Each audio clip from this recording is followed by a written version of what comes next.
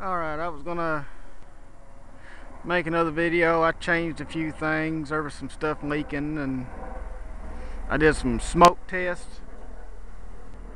Of course there'll be a helicopter going over right now. I did some smoke tests and uh, it was not exactly airtight that uh, that little bitty cyclone I had on there was not airtight. So I'll show you what I got done so far. I got stuff actually, everything's ready except for the the line that's going to lead up to the cab. That's the only thing I got to really work on. Uh, of course, the carburetor stuff and all that. But everything in the bed is done. And I actually welded the barrel to the bed. So I tried driving around a little bit and I tried strapping it to my toolbox and uh, it just there was no way to hold it still because that propane tank is heavy. And it's top heavy. So I just decided to weld it down. Just welded it to the bed and every place that it comes up and touches.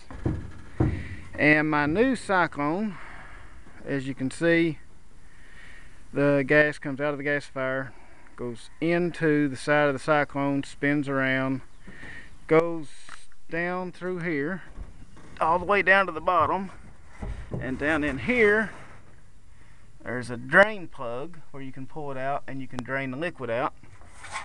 Have it actually anchored to the bed right there.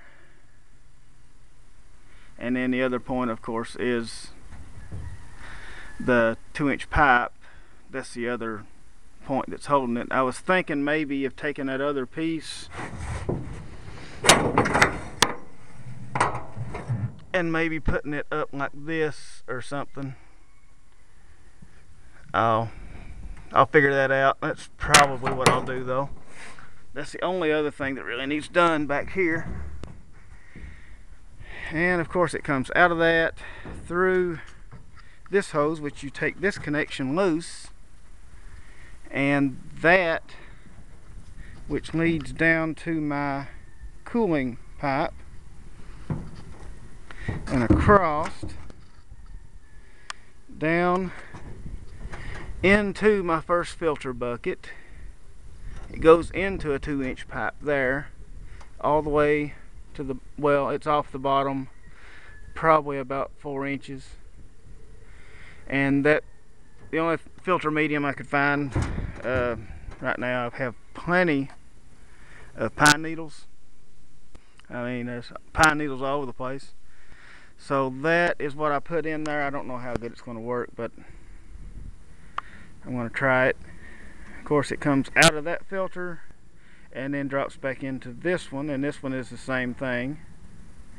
Goes down to uh, just up from the bottom also put a piece of screen wire in both of them up toward the top so that the particles of the pine needles can't be drawn into the pipe and plug it up.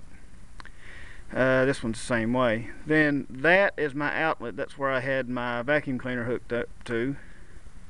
And at first I was pulling through it to see if I could hear any leaks and I couldn't hear any and then I decided I'm gonna try blowing smoke through. So I took a smaller little 12 volt vacuum cleaner and I hooked it up to it blowing in there.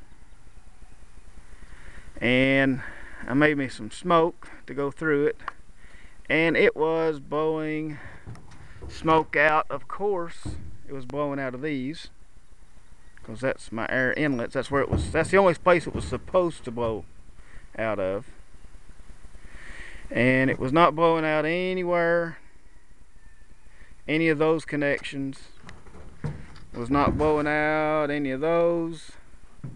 It was blowing out of my small cyclone filter and it was blowing out of the top of it. There was no way I could get it to seal off. This system so far doesn't have any leaks that I can see. The only place smoke came out was out of these. And well, I mean, there was a little bit coming out of the top, which I don't have this done yet still. That's that's the one thing that I've really got to do to have everything in the bed finished. But basically everything is done and ready back here. Um, I need to do a test on it and see how it burns. See how clean it will burn. Uh, I'll take a white cloth and put over the end of the vacuum cleaner and see if it has any kind of uh, tar coming out of it. I don't know if that's enough to catch my tar or not. But like I said before, this rack, this entire rack is removable. Take one screw off right there. And of course you loosen that connection.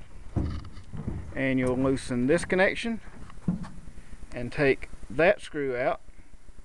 The whole thing comes off and you can spray in water in this pipe lay it up against the side of the house and spray in water on that pipe and it will come out down here. And well so far I don't have any leaks or anything. So hopefully my next video about this will be with uh, doing the test with burning the wood, seeing if I got any tar. And maybe I might actually have it fixed up where it will start and run the truck. Uh, good old welder. Oh. And, oh yeah, had a little incident with my welder. I was up in the bed welding the barrel down to the floor of the bed and all at once the welder started sounding funny. It it, it was arcing funny. It wasn't making that same frequency that it that it usually makes. And see where I've got it taped up there? I'm gonna have to make me a guard because that wire pulled up into the cooling fins of the alternator and it was you can see it actually did a little bit of damage melting the fins a little bit. Uh, so I'm going to have to make me a guard to go over top of that so that that can't happen. I also need to make a permanent connection but I don't want to use my good extension cord well they're not good extension cord or jumper cables anymore they're kind of trashed now. So I'll probably just use those to get some more jumper cables and I'll hook that in permanently. Uh, I had planned on getting some more wire actually and doing it, but since I did that to my jumper cables, I'm going to use them. but until next time, there's my gasifier system and hopefully the next video I'll be testing it with some fire. Thanks for watching.